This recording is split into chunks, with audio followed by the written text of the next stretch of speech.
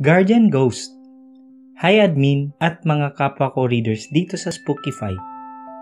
Avid reader na ako since nung bago pa lang ang page nyo, so I just want to share my experience. So here it goes. Dalawa na lang kaming magkasama sa buhay ng mama ko.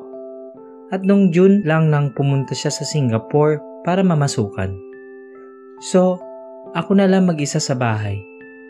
Likas na sa akin ang pagkahilig sa katatakutan. At dahil nga sa mag-isa na lang ako sa buhay, nando na minsan ay tinatakot ko ang sarili ko. Sa bahay na to na ako lumaki. At wala pa kaming anumang kababalaghang na experience dito maski si mama. Pero sa loob ng 3 months na pag-iisa ko sa bahay, di ko ini-expect na dun pa ako makakakita. Unang beses. Binigyan ako ng tuta ng tita ko para may libangan naman daw ako sa bahay. Isang gabi habang nagpapahinga na ako, sa kwarto narinig ko malakas na umiiyak si Yumi. Yun yung pangalan ng tuta ko sa sala. Tumayo ako at pumunta sa sala. Binuksan ko ang ilaw at kinakausap ko siya. Di ako baliw ha? Pero di ba minsan kinakausap rin natin na parang tao ang mga alaga natin? Hinimas-himas ko siya sa ulo at pinatay ko na ulit ang ilaw sa sala. Nang shit! Nakita ko may nakaupo sa sofa namin. Di ko makita ang mukha dahil patay nga ang ilaw pero dahil sa silhouette niya na parang may mahabang buhok, alam kong babae. Pwera na lang kung nakatalukbong ang multo. Dali-dali binuwat ko si Yumi at dinala ko sa kwarto. Doon ko na rin siya pinatulog. Kinabukasan nagising na lang ako sa katok ng tito ko sa pinto namin. May nahuli daw silang malaking sawa Galing daw yun sa kisame ng bahay namin sa sala. Sobrang thankful ako nun. At di ko pinatulog si Yumi sa sala, kundi baka nakain na siya ng sawa. Pangalawang beses. Alas dos na ng madaling araw, nagising ako dahil naiihi na ako. Bumangon ako para mag-CR pero di ko pa binubuksan ang ilaw sa kusina. Madadaanan mo muna kasi ang kusina bago ka makapuntang CR nakita ko na naman ang silhouette na babaeng multo.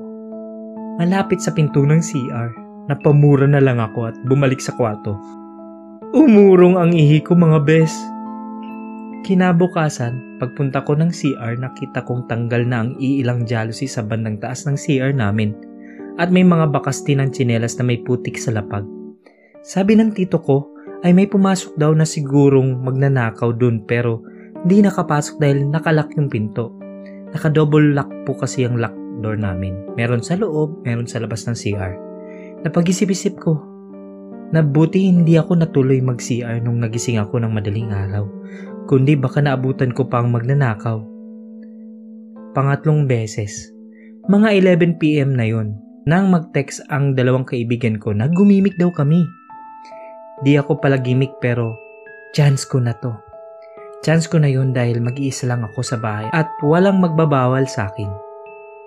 Nagbihis na ako noon at pagdating ko sa sala, bubuksan ko na ang ilaw. Nakita ko na naman ang silhouette ng babae sa pintuan.